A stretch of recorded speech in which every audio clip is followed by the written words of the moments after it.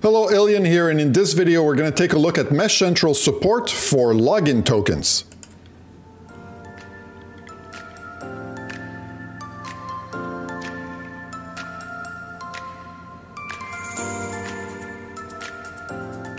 So sometimes it's useful to have separate credentials than the ones you typically use on a web service to allow tools like MeshCentral uh, Router or automation tools, script other services to access your account, but you want those credentials to be uh, used only for them and you want to be able to revoke them at any time. So let's take a look at how MeshCentral supports that. So I'm going to be using my trusty developer uh, installation of MeshCentral here. I'm going to click on my account and there's going to be a link called create login token and I can create a token with a name. So for example, uh, automation server and you can select how much time that token is valid for. Typically, you would put it unlimited and you would revoke it when you need to, but in this case, we'll just put four hours and say OK. So now it created this new token, you see it there, and the um, and MeshCentral is giving us the username and password for that token. Now the username and password, the username, uh, you'll see it at the bottom here anytime you want. The password, once you click OK here, the password is gone forever.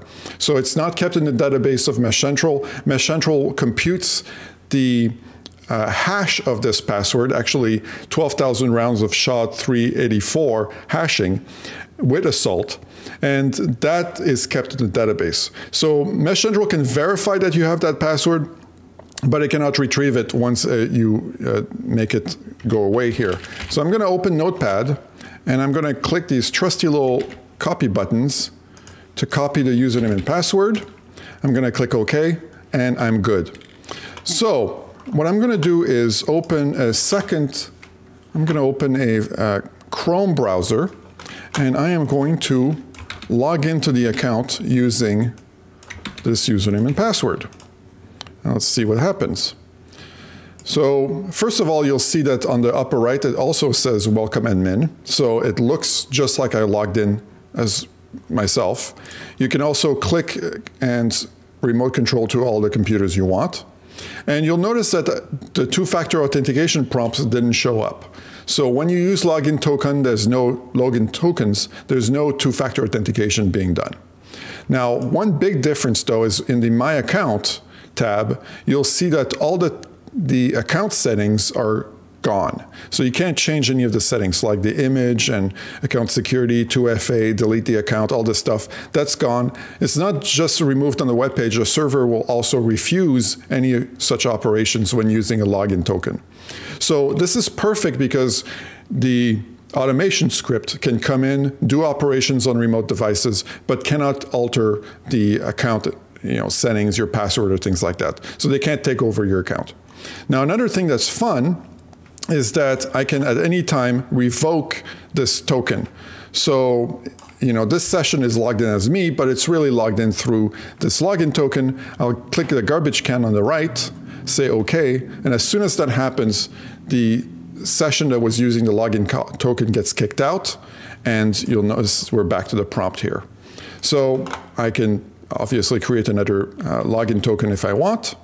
Uh, another thing I want to mention is that you can click on View Previous Logins, and it will show you the previous logins that you made in a certain color, and then previous logins that the login tokens I've made with the login token name. So if you have multiple login tokens for different automation servers or different tools, and you want to go and audit, you can see the difference between your logins and the logins that were due to uh, those tokens.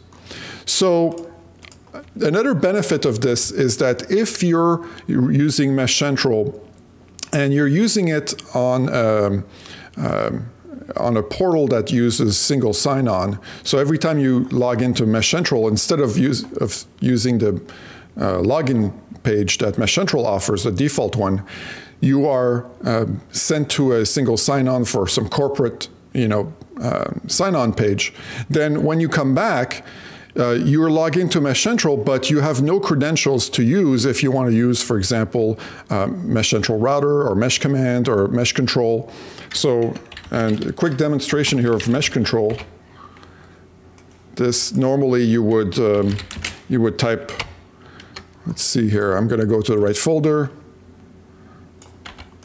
and you type node. Uh, sorry, cd change directory node mesh control.js. So this tool that allows you to do a whole bunch of different automation tasks on MeshCentral, if you're using a single sign-on portal, you don't have the login username and password needed to log this tool in. Well, with the login token, you can do that. So I hope that was clear. This was a quick understanding or a quick overview of MeshCentral's use of and support of login tokens. Thank you very much.